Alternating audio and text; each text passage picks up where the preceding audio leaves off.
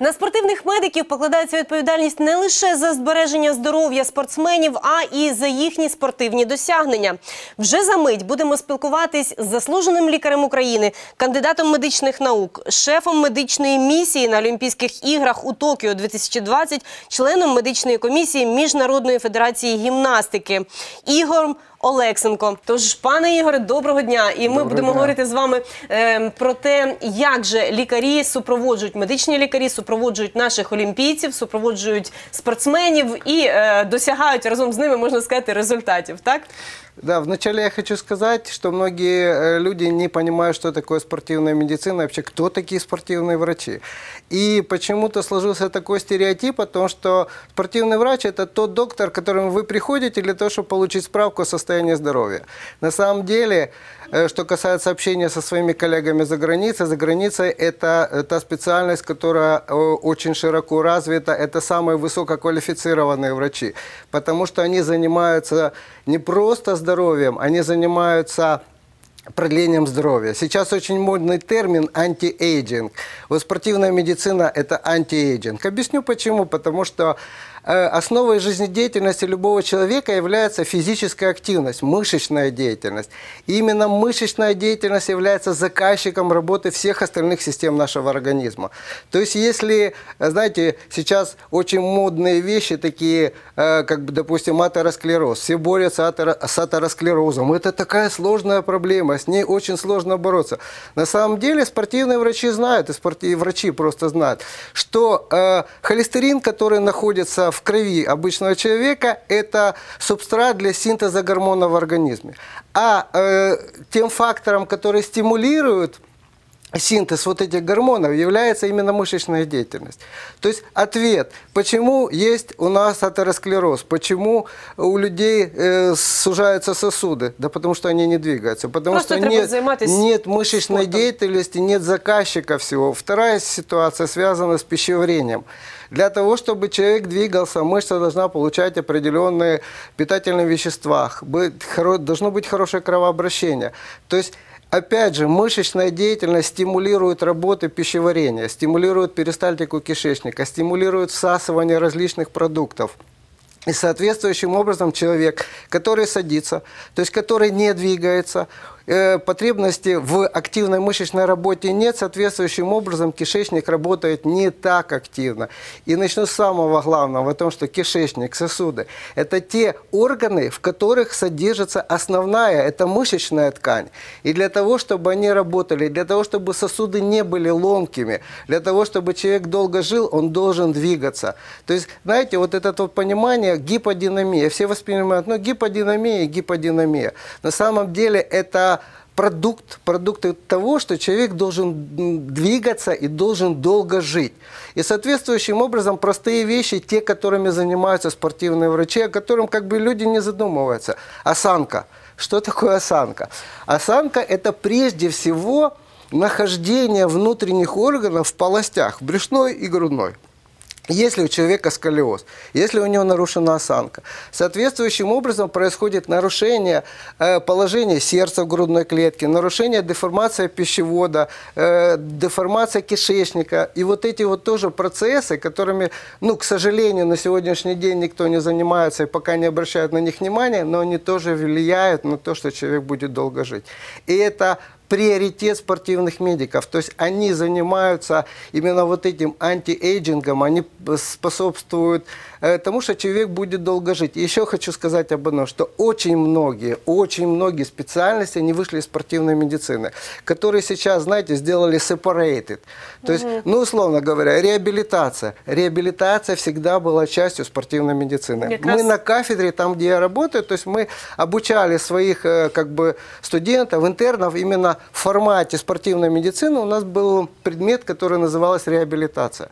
То есть сейчас реабилитация идет отдельно, то есть, но она идет опять же в формате спортивной медицины. То есть я хочу сказать о том, что врач спортивной медицины почему мы и работаем э, с элитным спортом, Э, потому что это те врачи, которые знают, ну, то есть рассматривают, знаете, есть такой холистический подход к организму человека, целостный подход. То есть мы Це рассматриваем... лікарі широкого профілю, можна сказати так. Вы так? знаете, это не врачи широкого профиля, это врачи, которые понимают, как работает весь организм. То есть, условно говоря, если э, у человека проблема с пищеварением, то есть врач спортивной медицины понимает о том, что если нарушено пищеварение, то есть он восстанавливает через определенные свои скажем так, механизмы.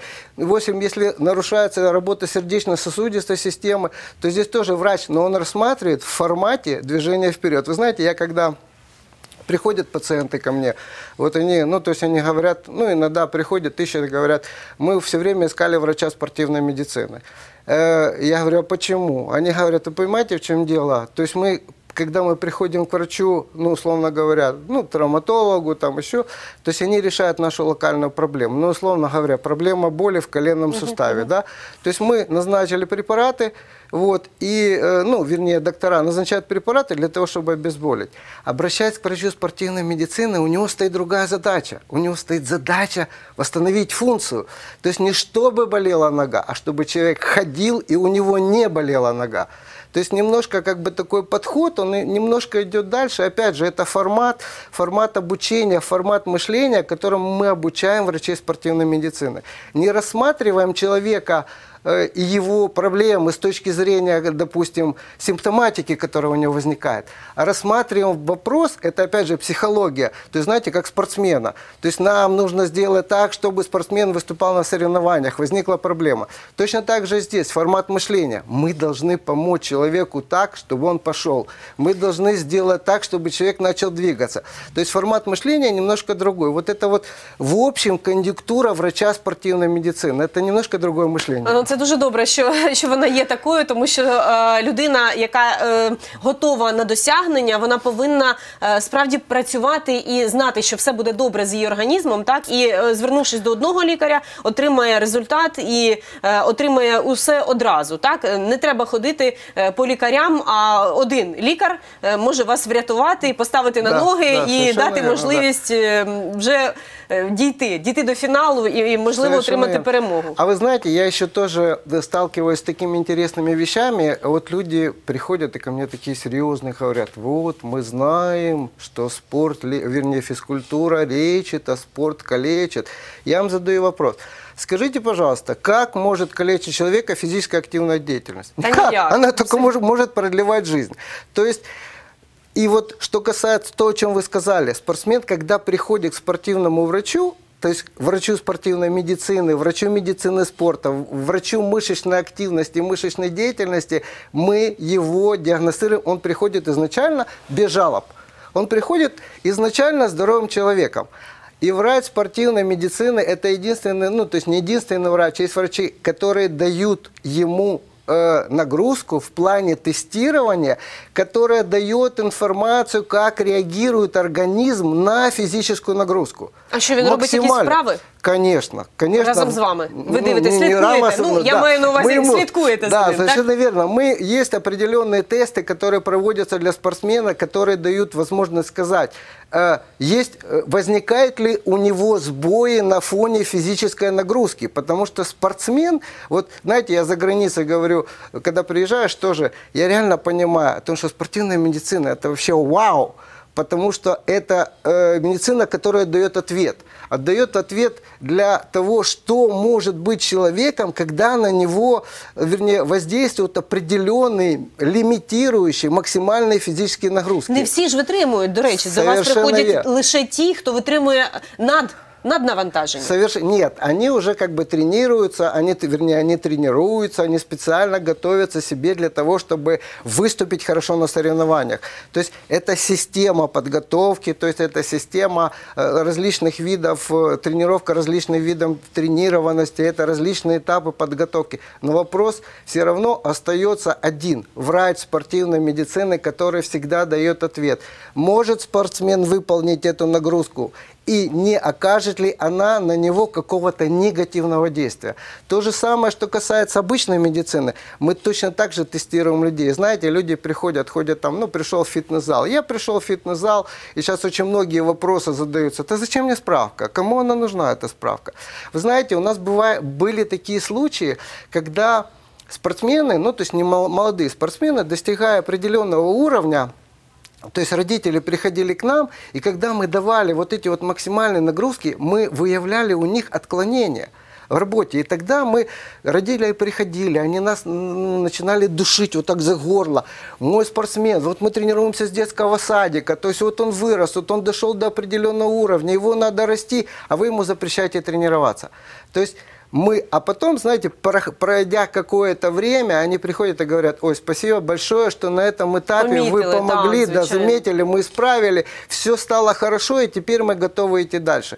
То есть вот эти вот вещи, это, опять же, удел врачей спортивной медицины, которые дают возможность, опять же, антиэйджинг, вернее, эйджинг, продолжение жизни человека, знаете. Так, пане Ігоре, а скажіть, будь ласка, от е, е, з цього року, наприклад, е, ті спортсмени, які досягли е, дуже великих результатів, е, чи е, могли вони додатково щось вживати, наприклад, е, приймати якісь препарати, які їм е, дають більше можливостей? Смотрите, я могу вам сказать о следующем. Во-первых, в этом году Олимпиада в Лондоне и вообще Олимпиада – это достаточно сложный спортивный ивент.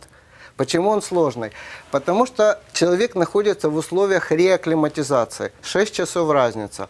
Ну, предположим так, я, допустим, общался с домом, когда там было уже 12 э, часов дня, здесь было всего лишь 6 часов утра. То есть мы поднимались, э, получается, в час ночи. То есть и вопрос, вы хотите задать вопрос о фармакологическом обеспечении. Фармакологическое обеспечение, оно бывает разным. Оно бывает хорошим, оно бывает плохим. То есть хорошее фармакологическое обеспечение, это фармакологическое обеспечение, сейчас вот, кстати, еще один, э, одна наука, которая выделила себя, которая называлась нутрициология, знаете, биологические так, зараз активные добавки. багато хто То есть с пищей человек не получает необходимого количества аминокислот, витаминов. Поэтому фармакологическая поддержка или просто поддержка мышечной деятельности, она присутствует. Потому что человек испытывает высокие максимальные нагрузки. И поэтому спортсмен должен использовать для своей подготовки их, потому что в пище он не получает необходимого набора аминокислот, белков, жиров, витаминов. Поэтому это входит в план подготовки спортсмена. И есть плохая фармакологическая подготовка, которая связана с использованием определенных запрещенных форм для улучшения спортивного результата. Вот это та фармакологическая подготовка, которая в большинстве случаев используется самими спортсменами и получают они информацию, знаете, как а, от человека к человеку. То есть кто-то кто жива, попробовал, да, спробуй. да. Мгм. И самое интересное о том, что потом, когда возникает ситуация, они говорят, мы ничего не потреб... мы ничего не пробовали, мы ничего не принимали. А что вы принимали? Я принимал только то, что давал мне врач. То есть, понимаете, то есть вот эта вот ситуация, и мы остаем, ну, как бы, э, камнем преткновения. То есть кто-то кто должен быть виноватым, понимаете? Ну а як ви потім вирішуєте це питання? Не, ну понятно, что потом, в конце концов, то есть есть вещи, которые доказываются, доказываются легко, о том, что это невозможно было сделать, э, не используя это, знаете. є наслідки в крові Ну, знаете, видно. ну очень хочется, э, достигнув определенного уровня, стать еще сильнее. Ну, очень хочется, знаете. И тут все сразу понимают о том, что, ага, можно как-то хи- по-хитрому это сделать, да. И начинают э, искать варианты, различные варианты решения вопроса. Но А- вообще это категорически очень плохо. Объясню вам почему. Потому что э, любая субстанция, которая попадает в организм извне, она блокирует работу своего организма. И э, на, э, я, я пытался разговаривать. Я говорю о том, что пытался разговаривать со спортсменами и до, и после. Вот.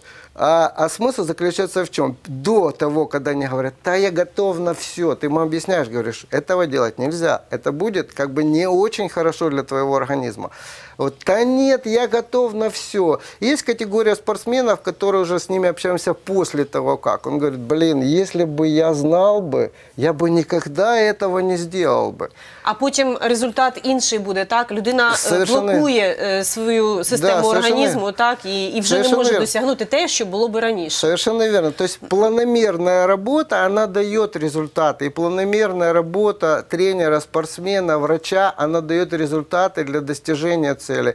И хочу сказать о том, что да, это мое мнение, я не хочу никому навязывать, но при правильной подготовке, при правильном планировании тренировочного процесса, при наличии идеального здоровья из любого спортсмена, ну, то есть, опять же, есть такие понятия анатомо-физиологические особенности вида спорта, можно сделать, э, ну, я не скажу олимпийского чемпиона, но топового спортсмена это точно можно сделать.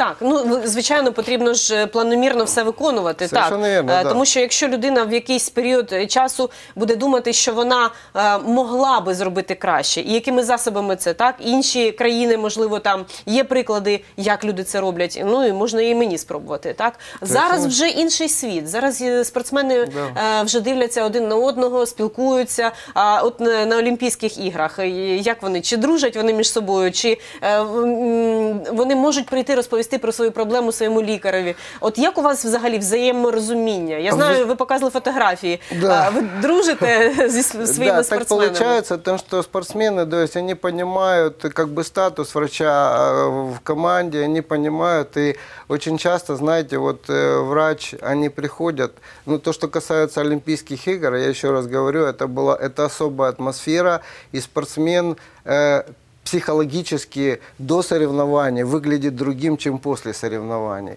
То есть до соревнований, когда он находится, потому что старт один раз в 4 года. Очень многие люди идут к этому старту не один олимпийский цикл. Для некоторых этот старт может быть финальным. Ну, то есть они как бы планируют о том, что это будет финальный старт, после, они оконча- после чего они окончают, заканчивают спортивную карьеру. Вот. И вот на этом этапе они ведут себя по-разному. То есть до соревнований они очень замкнуты. До соревнований они пытаются уединяться.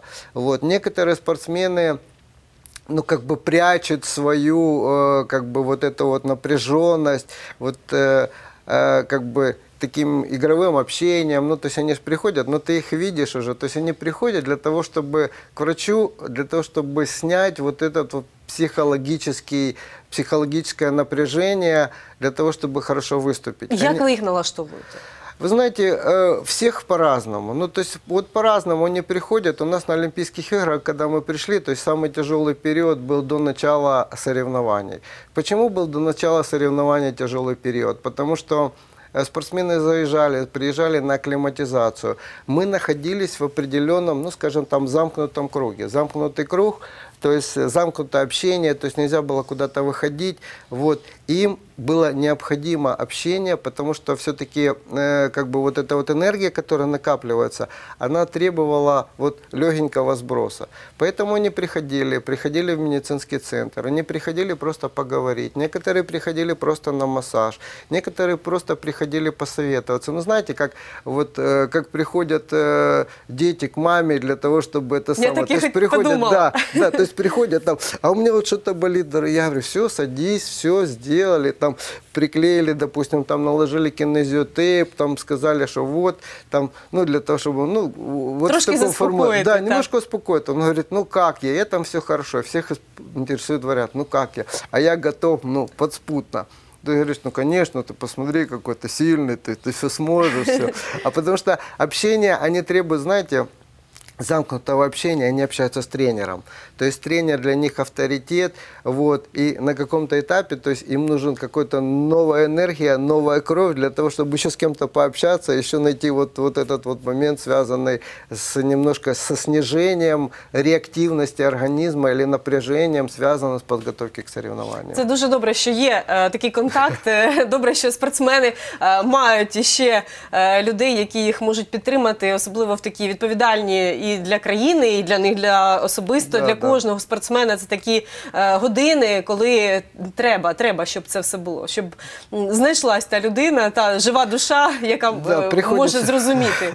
Приходится это делать, да. Пане Ігоре, я вам дуже дякую за, за вашу підтримку е, наших спортсменів, за те, що ви з ними завжди поруч, що ви розумієте їхні проблеми. А вам теж хочеться побажати міцного здоров'я, витримки, тому що це Спасибо. справді така робота, яка вимагає цього.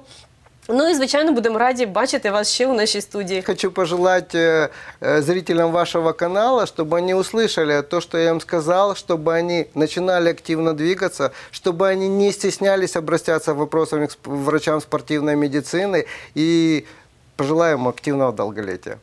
Ось так. Спасибо. Ігор Олексенко був сьогодні в нашій студії. Справді чудова людина, яка все знає про спорт і про здоров'я. А ми зустрінемось з вами вже наступного тижня о 13.30. Не перемикайтесь, дивіться телеканал відкритий. До побачення.